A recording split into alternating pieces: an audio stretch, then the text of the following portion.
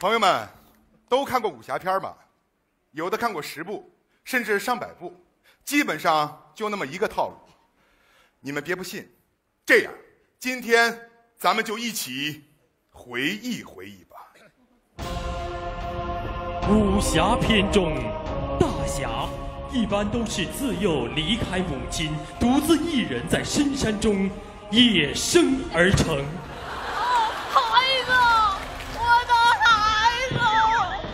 十八年后，大侠诞生了。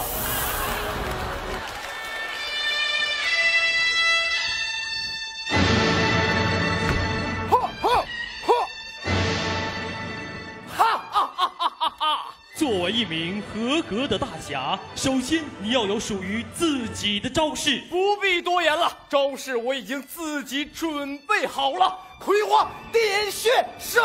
对不起，大侠，你的招式已经被别的大侠使用了。沙溢老师本尊就在现场。不好意思，沙溢老师啊，呃，我是大侠啊。沙溢老师，失敬失敬啊。那我这个招式我就呃。呃，菊花点穴脚，没有人用吧？哈哈。一般情况下，武侠片中的大侠，这时需要一位强劲的对手。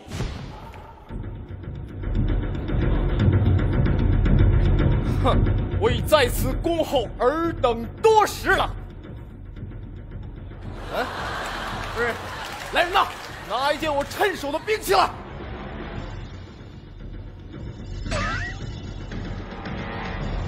果然是大宝剑呐！害怕了吧？看我，看我，看我苍啷啷拔出大宝剑！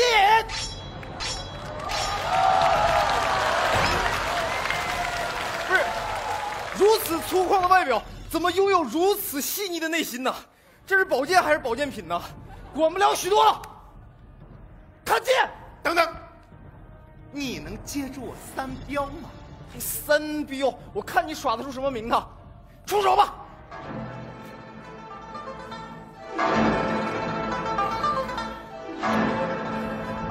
正手镖，反手镖，反得镖。哈哈哈哈！看来你的镖法也不过如此嘛。看见！这什么玩意儿？不是，我在这儿呢。躲！啊！我死了！一般情况下，在武侠片中，大侠都是不死之身。这时，应该有一位美丽的姑娘，使他死而复生。公子，你没事吧？快！啊！啊！敢问姑娘芳名？民女王铁蛋。这个这个铁蛋姑娘，单看你的名字，我们就不适合生活在一起。再见。公子等等。铁蛋姑娘，你别再跟着我了。要知道，青春只是一道明媚的忧伤，后会无期。公子，请留步。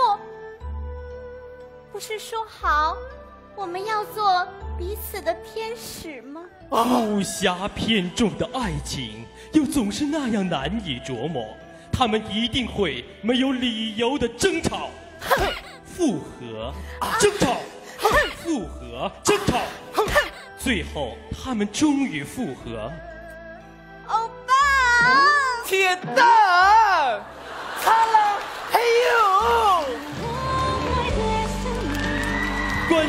朋友们，观众朋友们，剧情如你们所料，世间绝不会有这样容易的爱情。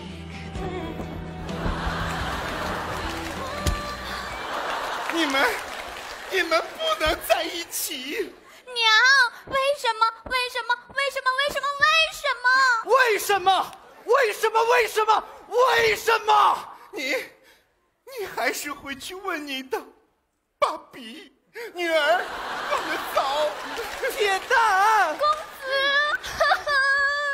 爸比，爸爸，爸爸在哪儿啊？爸爸去哪儿啊？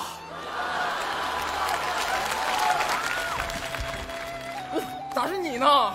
你们是亲兄妹啊，千万不行啊！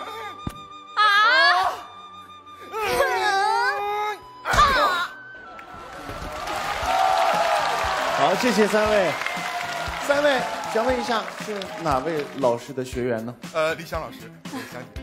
哦，李湘老师，我的天哪，这个剧好。呃，当时李湘老师有没有很好的创意赋予给你们？呃，对，李湘老师